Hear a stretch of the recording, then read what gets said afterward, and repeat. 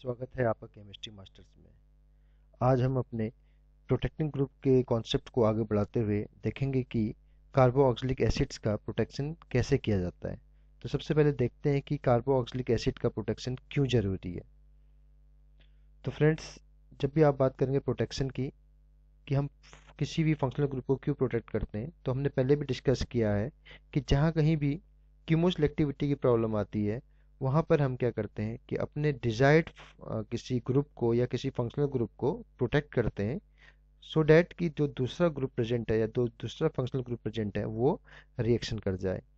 जब कभी भी आप बात करते हैं कार्बोक्सिलिक एसिड्स की तो कार्बोक्सिलिक एसिड में जो हाइड्रोजन्स होते हैं, यानी कि जो उनका एसिटिक हाइड्रोजन है, वो किसी किसी रिएक्शन में जाके वो इंटरफेयर करता है नॉर्मल रिएक्शंस को। तो उससे कीमोसेलेक्टिव प्रॉब्लम्स बढ़ जाती हैं।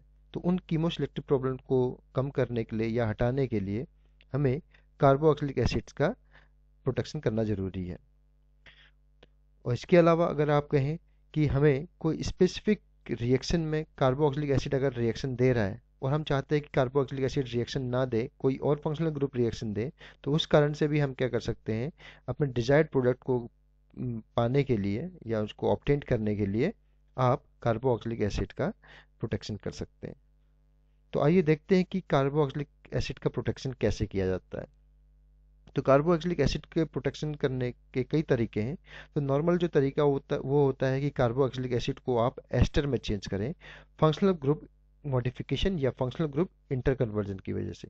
फंक्शनल ग्रुप मॉडिफिकेशन मतलब ये है कि आप एक फंक्शनल ग्रुप को, उसको रिएक्ट करा के किसी दूसरे फंक्शनल ग्रुप में चेंज करते हैं।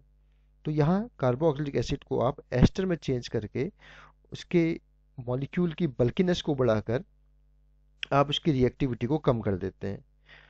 तो आप कार्बोक्सिलिक एसिड को एस्टर में कैसे बदल सकते हैं? उसके कई तरीके हैं, जिसमें जैसे कि आप मिथाइल एस्टर्स में चेंज कर लीजिए या एसिड को इथाइल एस्टर में चेंज कर लीजिए और बहुत कॉमन है, एक सिलाइल एस्टर में भी आप उनको चेंज कर सकते हैं। लेकिन जब भी आप किसी एसिड को कार्बोक्सिलिक एसिड को मिथाइल या इथाइल एस्टर में चेंज करते हैं, वो इजिली एस्टर में तो चेंज हो जाते हैं, लेकिन आप जब उनका डी प्रोटेक्शन करना चाहें तो डी प्रोटेक्शन करने के लिए आपको स्ट्रॉन्ग एसिड या फिर स्ट्रॉन्ग बेस की ज़रूरत पड़ती है, जिसकी वजह से रिएक्शन की कुछ कंडीशन जो होती हैं वो बहुत ईजी नहीं रहती है या फिर आप कह सकते हैं डी प्रोटेक्शन करना बहुत आसान नहीं रहता है। इसलिए मिथाइल इथाइल एस्टर में चेंज तो हम कर सकते हैं, लेकिन उनके लिए आपको ध्यान रखना है कि आपको स्ट्रॉन्ग एसिड या स्ट्रॉन्ग बेस की ज़रूरत पड़ेगी। इसलिए जनरली क्या किया जाता है? Tertiary butyl esters phenyl esters या फिर बेंजाइल एस्टर्स या फिर सिलाइल एस्टर्स में चेंज करना बहुत आसान रहता है क्योंकि जो आपके प्रोटेक्टिव ग्रुप है, यानी कि आपको एस्टर को वापस अगर एसिड में बदलना है डी प्रोटेक्शन के थ्रू तो उनमें बहुत ईजिली ये हो जाता है। तो ध्यान रखिएगा कि मिथाइल और इथाइल एस्टर्स के टर्म का हम जनरली यूज़ कम करते हैं। Tert butyl ether methyl esters या फिर बेंजाइल एस्टर या फिर सिलाइल एस्टर में एसिड को चेंज करना ज़्यादा बेटर माना जाता है। तो ये कुछ एग्जांपल्स हैं जो हम आ, अपने आने वाले वीडियोस में देखेंगे कैसे आप एसिड को डिफरेंट एस्टर में चेंज कर सकते हैं और उन एस्टर में चेंज करने के बाद कैसे आप अपना डिजायर्ड रिएक्शन को गेन कर सकते हैं और कैसे एट लास्ट आप उनको डी प्रोटेक्ट भी कर सकते हैं। तो फ्रेंड्स आज हम देखेंगे कि कैसे टर्सरी ब्यूटाइल एस्टर का यूज़ हम करते हैं एज अ प्रोटेक्टिंग ग्रुप जिसकी वजह से कार्बोक्सिलिक एसिड को हम प्रोटेक्ट कर सकते हैं। तो हमने यहाँ पे दिखाया हुआ है कि एसिड हमने लिया है और उसको हम एक प्रोटेक्टिंग ग्रुप के थ्रू, यहाँ पे हमने पीजी लिखा है, उस प्रोटेक्टिंग ग्रुप से हम क्या करते हैं, इसको प्रोटेक्ट करते हैं। और जो पीजी है यहाँ पे, यानी कि जो प्रोटेक्टिंग ग्रुप है, वो इस एसिड को टर्सरी बुटाइल एस्टर में चेंज कर देता है। टर्सरी बुटाइल एस्टर अगर आप देखें तो आर सी ओ ओ ग्रुप है, उसके बाद आर ग्रुप जुड़ा है, और जो आर ग्रुप यहाँ पे जुड़ा हुआ है, वो आपका ब्यूटाइल है। तो इस वजह से हम इसके कह रहे हैं कि ये टर्सी ब्यूटाइल एस्टर बन गया है किसी एसिड से। तो यहाँ पीजी जो है, यानी कि जो आपका प्रोटेक्टिंग ग्रुप है, उसका स्ट्रक्चर क्या होगा? तो इसका स्ट्रक्चर कुछ इस तरह से होता है, वो है two methyl prop one ene यानी कि two methyl prop one ene का यूज़ करके हम as a protecting group acid को प्रोटेक्ट कर सकते हैं और उनको चेंज कर सकते हैं टर्सरी ब्यूटाइल एस्टर्स में। तो फ्रेंड हम देखते हैं कि अब टर्सरी ब्यूटाइल एस्टर को फॉर्म करने का या फिर एसिड को प्रोटेक्ट करने का जनरल तरीका क्या होता है? जब भी आप two methyl propene one prop one ene को यूज़ कर रहे हैं एज अ प्रोटेक्टिंग ग्रुप तो हमने यहाँ पे देखो कि ये आपका प्रोटेक्टिंग ग्रुप है। इसको हम एसिड की प्रेजेंस में रिएक्शन कराते हैं। तो एसिड की प्रेजेंस में जब भी रिएक्शन होती है तो डबल बॉन्ड ब्रेक होता है। तो डबल बॉन्ड जो ब्रेक होगा वो टर्मिनल कार्बन की तरफ़ होगा।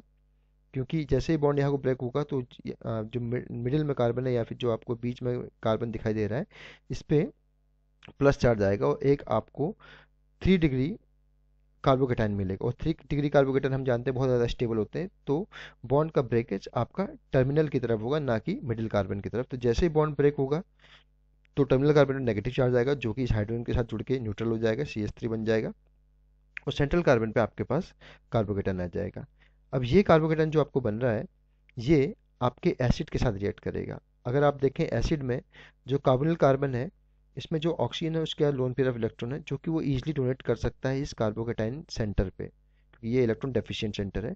तो जैसे ये इसको इलेक्ट्रॉन डोनेट करेगा तो ऑक्सीजन और कार्बोकेटाइन जो सेंटर है, या कार जो आपका सेंटर कार्बन है, इसके बीच में बॉन्ड बन जाएगा और ऑक्सीजन पे प्लस चार्ज आ जाएगा। अब किसी भी स्पीसीज पे प्लस चार्ज स्टेबल नहीं है और वो भी किसी एक इलेक्ट्रोनेगेटिव स्पीसीज पे प्लस चार्ज तो बहुत ही ज़्यादा अनस्टेबल होता है। इस वजह से क्या होगा कि जो आपका डबल बॉन्ड है, कार्बनल डबल बॉन्ड, वो ऑक्सीजन की तरफ़ ब्रेक होगा और सेंट्रल कार्बन पे यहाँ पे प्लस चार्ज आएगा और इन टर्न जो ओ OH का बॉन्ड है, वो ऑक्सीजन की तरफ़ ब्रेक हो जाएगा और इस ऑक्सीजन पे नेगेटिव चार्ज आएगा। तो कुछ इस तरह से मान सकते हैं। तो ऑक्सीजन और हाइड्रोजन के बीच का बॉन्ड ब्रेक हुआ ऑक्सीजन पे नेगेटिव चार्ज और सेम उसी टाइम पे आपका कार्बनल कार्बन और जो ऑक्सीजन जिसमें प्लस चार्ज है, उसके बीच का बॉन्ड ब्रेक होगा और ऑक्सीजन पे नेगेटिव चार्ज आएगा। नेगेटिव और प्लस यहाँ पे न्यूट्रल हो जाएगा और यहाँ पे जो कार्बोकेटन इसमें प्लस आएगा, इस ऑक्सीजन पे नेगेटिव आएगा तो इन दोनों के बीच में डबल बॉन्ड बन जाएगा। और जो एच प्लस आपने यूज़ किया था एज ए कैटलिस्ट रिएक्शन में, वो आपको वापस मिल जाएगा और आपको टर्सी बुटाइल एस्टर मिल जाएगा। तो आपने इसको इस तरह से दिखाया या फिर आप इसको कुछ इस तरह से भी स्ट्रक्चर दिखा सकते हैं। तो आपने देखा कि कैसे आप प्रोटेक्शन कर सकते हैं एसिड्स का और उन्हें चेंज कर सकते हैं टर्सी ब्यूटाइल एस्टर्स में जब भी आप प्रोटेक्टिंग ग्रुप यूज़ कर रहे हैं, जो कि होगा आपका two methyl prop one ene अब डिप्रोटेक्शन कैसे करेंगे? क्योंकि हमने पहले भी डिस्कस किया हुआ, जब भी आप किसी मॉलिक्यूल को प्रोटेक्ट करते हैं और अपन डिजायर्ड रिएक्शन कैरी ऑन करते हैं, उसके बाद आपको बहुत ज़्यादा ज़रूरी ये भी है कि आप अपना मॉलिक्यूल जो कि प्रोटेक्ट किया आपने, जो भी फंक्शनल ग्रुप आपने प्रोटेक्ट किया है उसको डी प्रोटेक्ट भी करें। तो ये आपका प्रोटेक्टेड मॉलिक्यूल था, जिसमें कि टर्सी बुटाइल एस्टर आपको मिला था। तो डी प्रोटेक्शन करने के लिए फिर से आपको एसिड की ज़रूरत पड़ेगी और जनरली हम माइल्ड एसिड यहाँ पर ले सकते हैं, यानी कि एस अगर वो डाइल्यूटेड फॉर्म में हो, किसी सॉल्वेंट के साथ। तो फिर से अगर देखें तो आपका जो कार्बन कार्बन जो प्रेजेंट है, उसके साथ जो ऑक्सीजन प्रेजेंट है, उसके साथ जो लोन पेयर इलेक्ट्रॉन है, वो ये हाइड्रोजन को डोनेट कर देगा, जिसकी वजह से हाइड ऑक्सीजन पे प्लस चार्ज आ जाएगा और ऑक्सीजन और हाइड्रोजन के बीच में आपका यहाँ पे बॉन्ड क्रिएट हो जाएगा।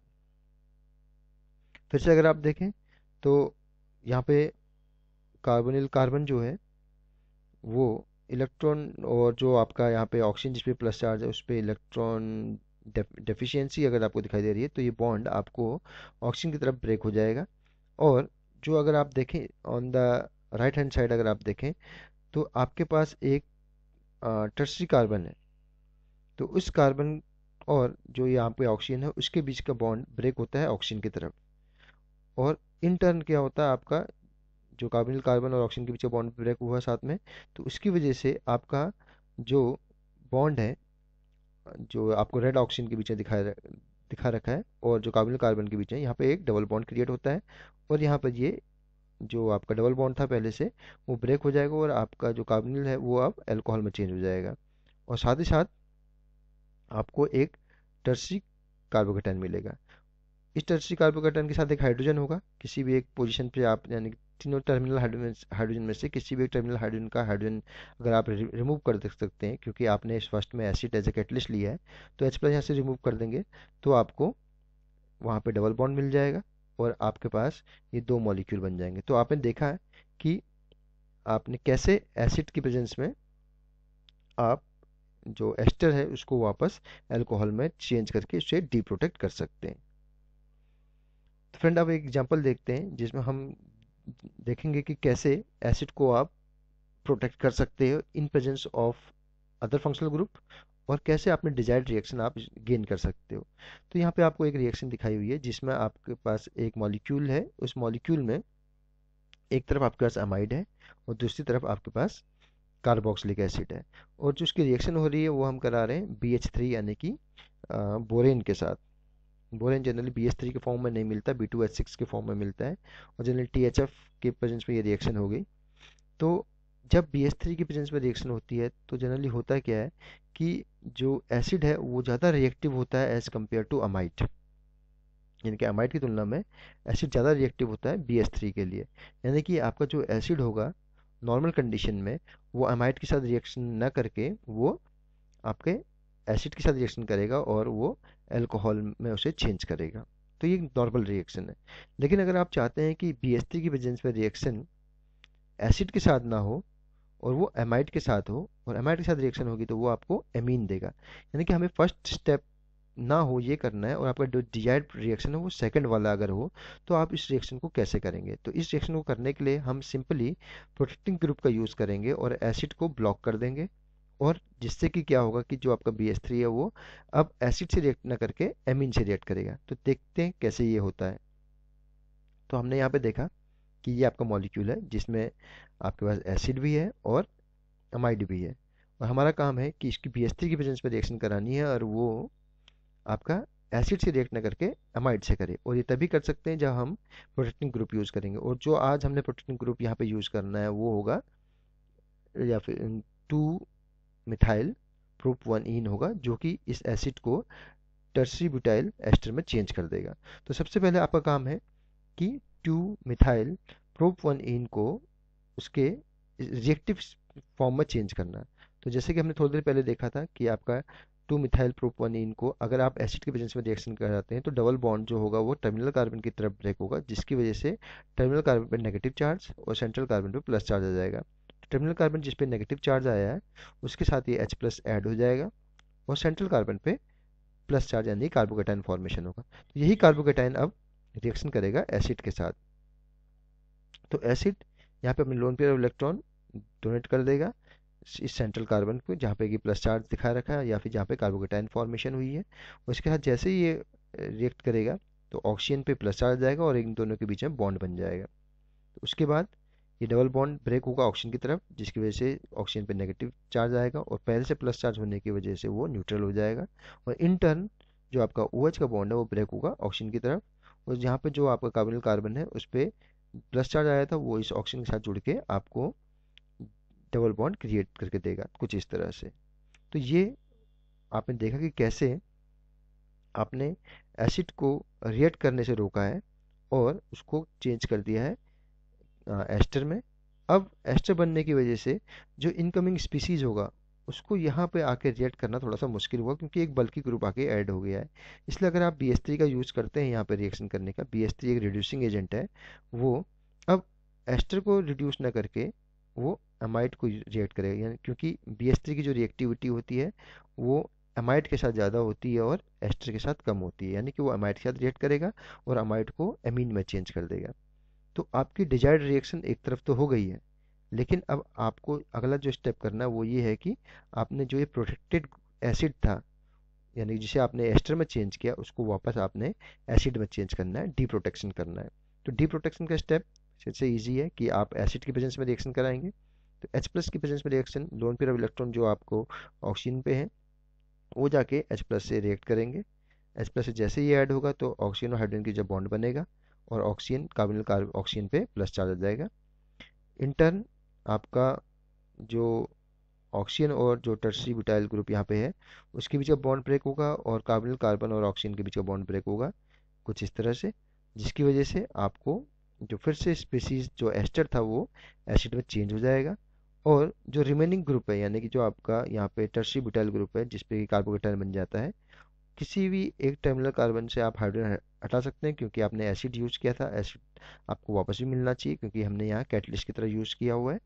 तो जैसे एच प्लस आप हटाते हैं तो वापस वो आपको one two methyl prop one ene वापस दे देता है। तो आपको जो डिजायर्ड प्रोडक्ट था यानी कि मॉलिक्यूल में एमाइड रिएक्ट कर जाए एमीन में चेंज हो जाए और एसिड अपने ही फॉर्म में रहे, वो आपने देख लिया कि कैसे मिलता है। तो फ्रेंड्स आज हमने देखा कि कैसे आप टर्सरी ब्यूटाइल एस्टर के फॉर्म में एसिड को चेंज करके उसे प्रोटेक्ट कर सकते हैं और अपना डिजायर्ड रिएक्शन करवा सकते हैं। तो इसी तरह से हम अपने आने वाले वीडियोस में कुछ और प्रोटेक्टिंग ग्रुप्स को देखेंगे जो कि एसिड को प्रोटेक्ट कर सकते हैं और आपके डिजायर्ड मॉलिक्यूल या डिजायर्ड रिएक्शन को फॉलो करवा सकते हैं। तो आपको हमारा ये वीडियो कैसे लगा? हमको प्लीज़ हमसे शेयर कीजिएगा।